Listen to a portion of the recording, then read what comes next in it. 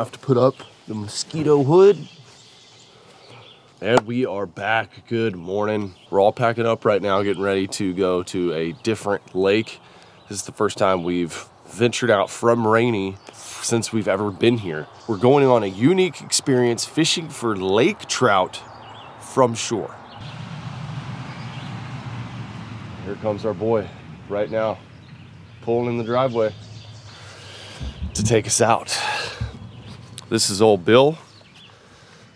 Bill is uh, Bill's a fishing fool. He loves to fish for everything, and me and my dad have been out with him before smallmouth fishing out here, but we've never done anything like this. And he thought this would be something that no one had ever done. So we're gonna go try it.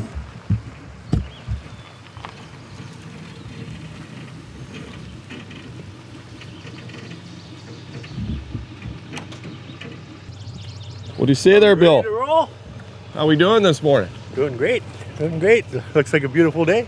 Beautiful day to catch some Lakers. Yep. A little better than yesterday. It looked like it was pretty pretty good to be pretty windy Oh, out it was there windy. yesterday. It was windy. Today we got we got gorgeous weather.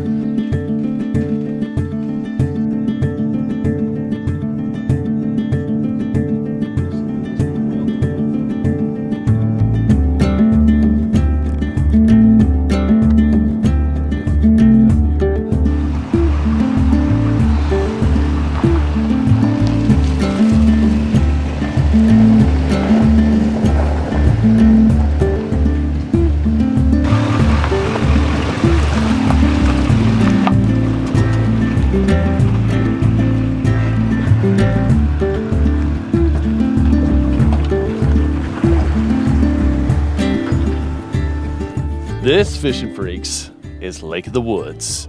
I've never been to this lake and I've always heard about it. My buddy Trey's fished here in the past and it's a it's a much bigger lake than what we're used to. We're gonna head out, go try to find a spot where we can catch some lake trout from shore. I quickly realized that Lake of the Woods was going to be one of the biggest and most diverse lakes I've ever been on. And the aquatic diversity here is just amazing from these shallow shorelines filled with grass and lily pads that have muskellunge and pike and largemouth bass to the deep rocky points and shorelines that house walleye and smallmouth. And at its deepest point, Lake of the Woods sits at over 300 feet deep. So it makes it a great place for these lake trout that prefer deeper, cooler water most of the season. The biggest lake I've ever fished back home in Texas is around 180,000 acres.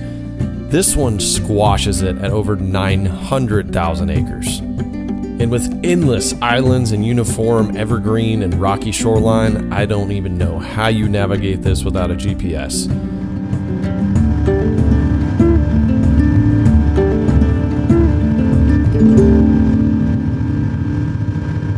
The rock, huh? This is home? This is it. Your. Well, D, you gonna make it? I got it. I'm good. You ever caught a lake trout? Do you know what one looks like? I uh, I think I know what they look like, but I've never caught one. So this is new for me. So we are out here on a rock island, and I'm assuming not very far out here. It's very, very deep. This water is very clear, much clearer than Rainy Lake. And now we are going to see how Bill does this out here. This is kind of a unique deal. I, I saw some Cisco's for bait fish. Looks like, like we got some uh, Big old Ambassadeurs. big old Ambassadeur reels with the clickers on them. That was short one, Rod. That was a good start of the day. Oh man, the old tip buster. The old net. I see some slime on that net.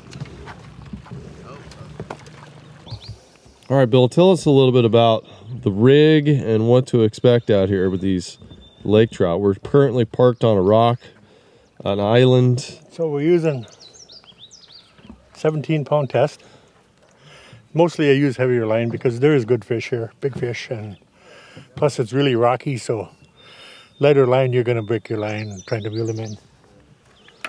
So we're using Cisco's. Cisco's, which I've never even seen a Cisco. Show me one. There's a Cisco, about a five or six inch bait. Okay, they got like a pointy nose. Looks real fatty, Yep. greasy. Greasy. I'm gonna use this one because this one's got a little bit of air in it. Air. So it'll make them float like Okay. that one there. All right. Otherwise, I put uh, a little chunk of styrofoam in them. And we float them up two or three feet off bottom. Seems to work a little better. Okay. And I'm gonna And do you're doing a special tie. I'm doing a little special knot here, so when the fish grabs it and pulls it off, it won't leave a knot in it. Okay. All right. All right. I'm gonna get a few rods ready here.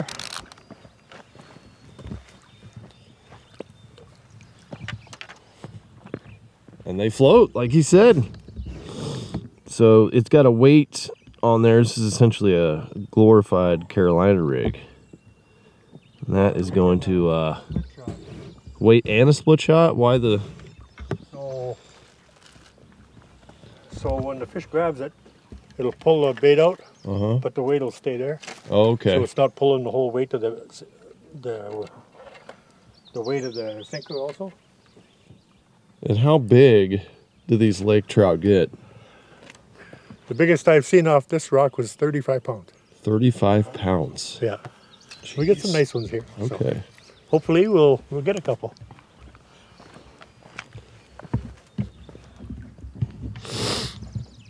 Be cool to just catch a big gnarly lake trout from the shoreline. You know, not on a boat. I've caught one in a boat before. Big old offshore boat trolling. But this would be a, a heck of a fight. We're on an island, you know, fight them, fight them around clear water, bring them up to shore. All right. Somebody's going to stand on shore and just hold the rod. Okay. And after I drop it, just you know, you want to try to stand the rod in the rock, but you want to make sure the button is pushed on the reel Okay. because one might grab it right away and he'll pick the rod and everything gone. So uh, open with the clicker. Is it got a clicker on? Yeah. Okay. All right, that sounds good. So, so Bill is actually going to run the baits out with a boat. We're gonna stay on shore, and he said, uh, "Be ready because fish could grab it right away." So we're just gonna have the clickers on, ready to roll. So I'm gonna get my my chesty camera on. We're gonna do this, guys. We'll catch a big old nasty lake trout. Give him a sniff.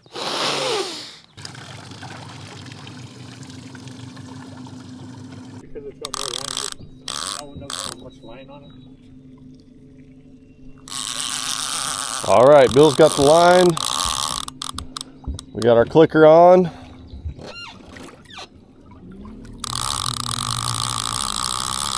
Oh, that's a dandy there, eh? You taking line?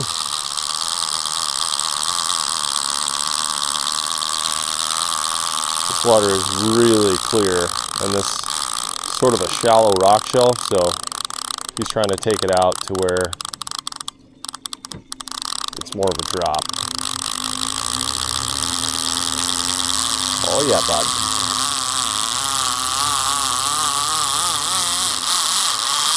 I've never done anything like this in my life.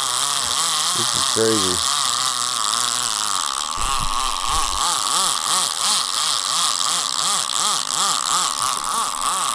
Oh yeah. God, he's going way out there.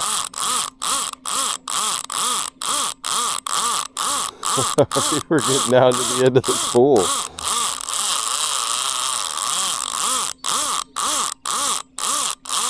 This is gonna be a far ass fight.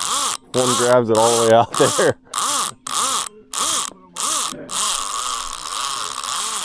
Oh, you got a tiny little. Yes. Come on. Nice. All right. Wait, Quinn, where'd you catch that at? Line is going in. All right, we're just gonna trust. We're gonna trust that right there. Clicker on. Ready to go. Little morning smallmouth on the island.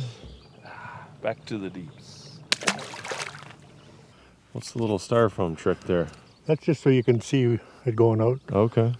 See it moving. Know which one. Supposedly we uh we might have a fish on right now. Put it again. Set it again. get him. Reel that slack in and get him. Jesus.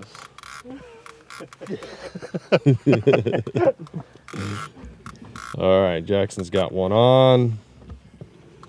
Oh, he might have come off. No, yeah, he probably just went around a rock. Yep, yep. Keep reeling. I said it hard. Oh yeah, no, you had there was so much tension on there. Maybe you just got around a rock. Oh, that was young. Oh, oh, oh, oh, oh. Set the hook on it. Be nimble. Be nimble quick. Oh no, he's still on. You still oh, we're still double. Oh, look at that. Wait, is that a pike? It's a play. That's the northern. It's a, It's a what? big-ass- You got a northern on. Big old northern down there and grabbed it. Look at this guy. Oh, Big slime.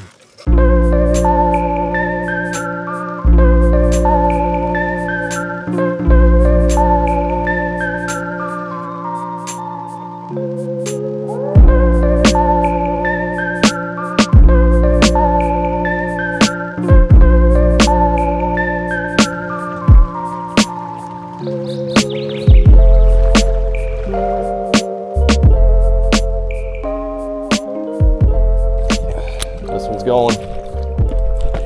There we go, baby.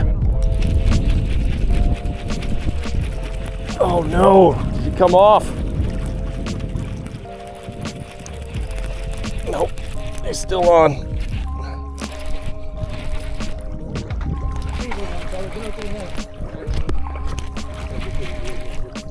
One on, Nate. Got one on.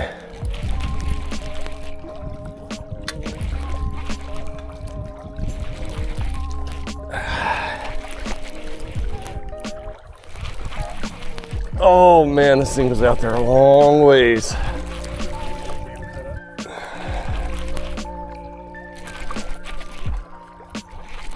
Laker lunch, come on, baby.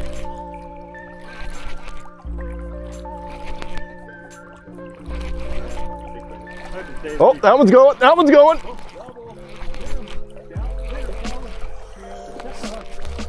Set it hard. Oh, it's a Northy. No, it's a Laker. It is a Laker. It's a trout. There we go. Yeah. Laker on. Good job. Thank you. We better get you out of here so you can go get the other one over there. LFD, hang on. I gotta. All right, we got one in. LFD's hooked up, doubled up. Still pretty heavy. Yeah, he's way out there.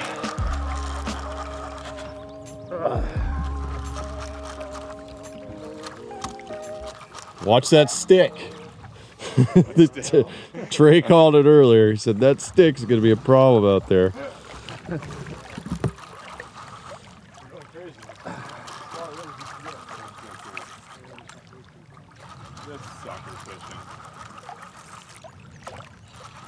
That's a long ways to reel him in, huh?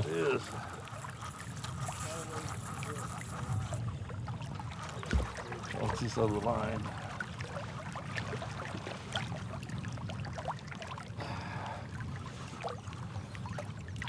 Oh yeah, he's pulling.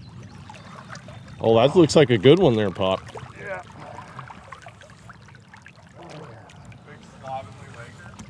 Oh, big boy. Woo! Easy now. He's giving you a little run. Not ready.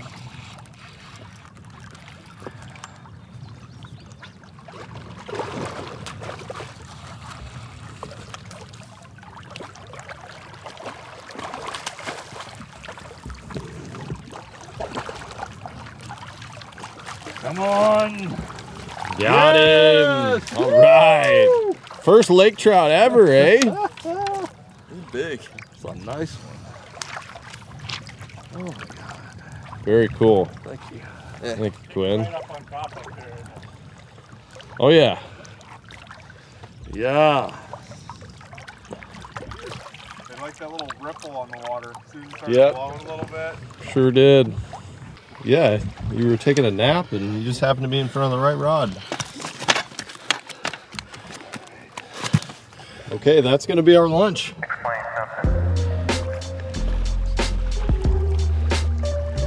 Beautiful fish. Nicely done, sir. Thank you. Cracking. Cracking. Are we tripled up? Basically. Big one. Does it feel big? I don't know. I feel like it's Swimming at you. Yeah, Yeah, catch think up to him. Can't tell if he's.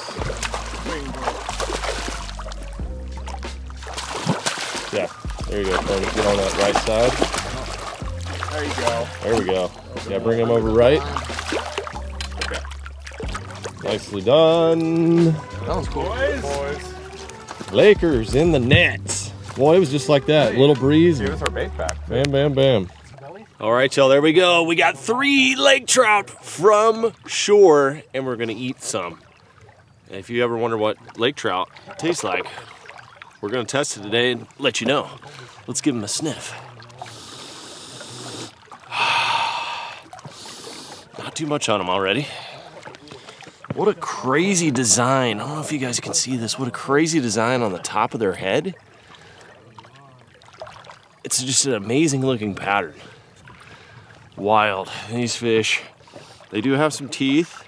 They're basically uh, swimming down there like catfish, picking up the baits, just running off like a big cat. Look at that. That's a pretty fish.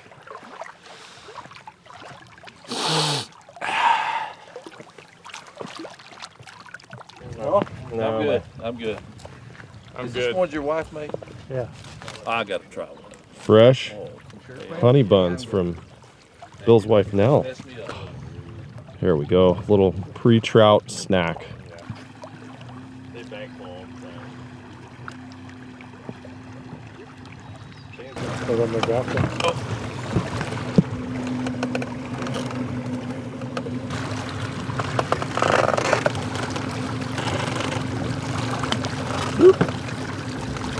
Here we go.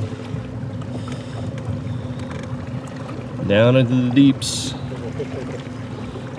Oh yeah. Laker right there. Run, run, hit. Whoever's there, hit him hard. Hit him with gumption. Get that slack out, whack him.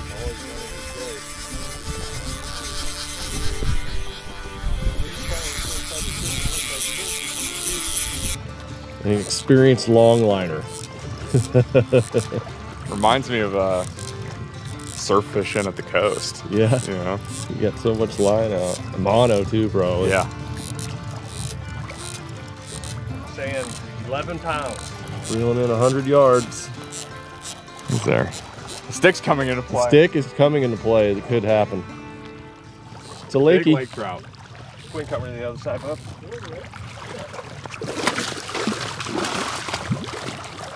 Got him. Got him. big.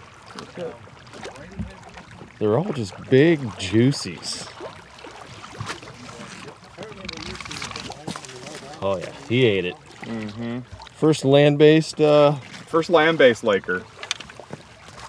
oh no, he got it right in the corner of his mouth, perfectly hooked. Excellent. He's going in the well. Yeah. Little different than trolling on the Bama Breeze with Captain Slockin.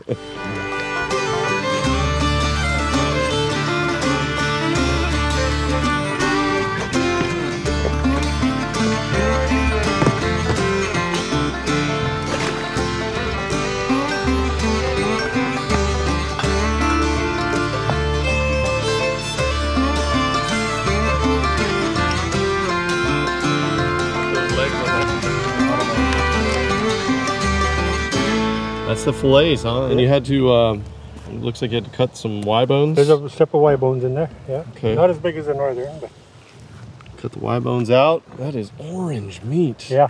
Why is their meat orange? I don't know. Just uh, just lake trout, I guess. Just in their nature. Yeah. We're gonna get the cooker going, and we're gonna we're gonna fry them up. Fry them up, golden crispy lake trout. Net for the. Uh, you gonna rinse them off in it? Yeah. Okay.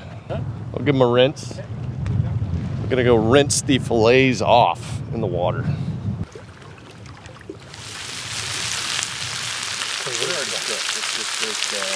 Oh, okay. Instead of, uh, just, Let me get a little bit of fish cooked and then we'll.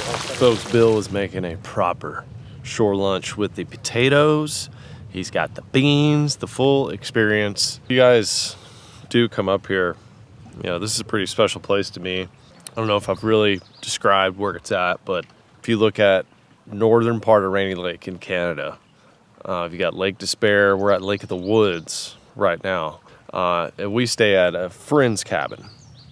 It, it's it's just with the family and friends over there, but they have places that you could stay out here. But if you do a little research, you guys can uh, find out more about about Rainy Lake and in the areas that we're staying in. And uh, if you come up here, um, just look up Old Bill, ask for Old Bill. He'll take you out fishing. He'll cook you shore lunch. You know, people around here they'll find you a place to stay. Uh, it's it's it's really cool. This is one of my favorite trips to go on because it's just drastically different than where I'm from in Texas, and it's not fishing really. It's catching. It's just catching fish up here in the summer. These fish have been under ice all winter. They're hungry. They come out in the summertime and just munch. Time to munch. Catching a Laker while we got Lakers cooking. Is that for dessert? Would I be Oh, too early to the show? Okay. we don't have to tell anybody. A butter tart with pecans and raisins, or just raisins? Just raisins. Okay. If you never had a butter tart, that's what they look like. My goodness. This sounds right up my alley. I gotta try it.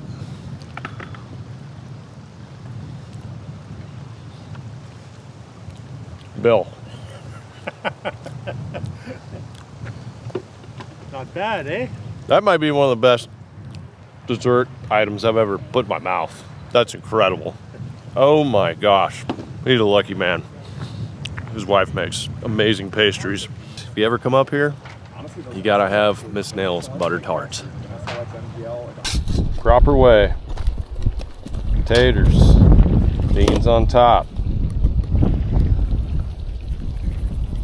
Beans go on top. And we've got our fish here. I'm gonna need a report. You know, a lot of people talk trash about the edibility of lake trout. I've heard that, yeah. I've heard like people talk about them being like inedible. Um, that's phenomenal. Fresh Really? fried. Yeah, that's great. Love it. I've I've, I've only smoked them because I've always heard that they weren't Right. good to eat.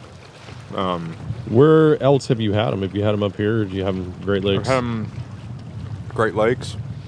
Had them in uh, caught them in Lake Tahoe Okay. one time. It looks good, dude. People joke about like turn them into pet food. Just because they're they're typically a little greasier. Not good, yeah. And I mean, yeah, I've always just greasy and fishy, but no, this is, I mean, flaky, delicious white meat. Mm. I'm into it. Now is that one? That one's a little paler. Yeah. Yeah, some of them I noticed were like more orangey than others. Diet. Yeah, maybe I'm guessing. diet. I've never had fried lake trout. Hot lake trout. I've never had fried. Man, that is an experienced fryer. That's a Goldfish Christie there. Yeah. And they're, uh, the, the trout is so much thicker. Mhm. How many fish do you think you cook a year? A few.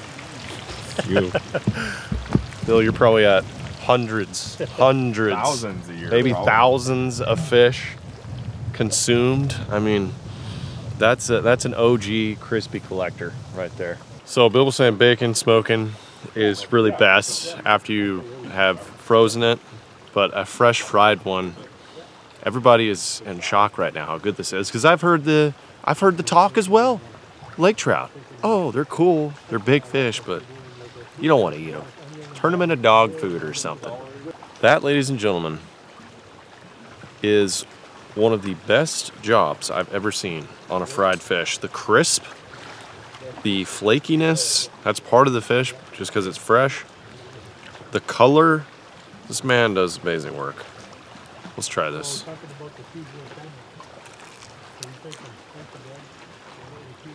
I want to compare it a little bit to salmon just because it's oily. There is an oiliness to it. So if you don't like fish at all, it may be just a, a hair off putting than eating like a walleye or a crappie or something like that. But the flakiness, the texture, guys, it's phenomenal. It's on. Actually, you know what? I'm going to try a piece without any tartar on it. That's as good as anything. And what makes it even better is it's nice thick cuts. And I love fish that are like that. That's one of the reasons I like striper. They're thicker. You can put a little bit more breading on them, fry them up, or you can bake them. You can just do more things with them. And I just like having that, you know, thickness instead of just like a real thin crappie. I enjoy that sometimes. Lake trout, they're fun to catch. They're even more fun to eat. And I did not think I was going to be saying that when we started today's video. Amazing. That is going to end our land-based lake trout excursion, guys. We caught probably five or six of these on those Cisco's. I mean, it was basically like catfishing, but it was a really cool fish. And I would do this all over again. To- totally different vibe. Every day that I've been up here for, you know, four or five years or so, it's always out of the boat and usually do some of the s- same similar things on the same lake, which I could do every day. It never gets old up there. Just it's catching. It's not really fishing. I enjoy it so much. But today, coming to Lake of the Woods, a different lake. It's got some really deep parts. They got the lake trout in here, hanging out on an island, having Bill cook. I mean, it was just amazing. Today was some of the best fried fish I've ever had in my life. And if you're wondering if you catch lake trout from shore, you definitely can. Actually, I think if we had the right uh, maybe like a surf setup, you could definitely get those lines out there far enough to get to where they need to be. What's really cool is people camp out on these islands in the summer for days. You know, they'll bring tents. I don't know how they deal with the mosquitoes at night, but it would be a really cool adventure to come back here, catch those lake trout, have those for dinner, and just eat on them for days, catch little perch, you know, do some smallmouth fishing on these islands, just just hang out out here. I'd love it. I absolutely love it up here. And I hope you guys enjoyed watching. If you guys have ever experienced the Northwoods, you already know. The, you know, drop a comment down below, let everybody know how awesome it is, but at some point you just got to get up here and experience it for yourself. Thank you guys for being here with me though, and I will see you on another outdoor adventure soon on the next one.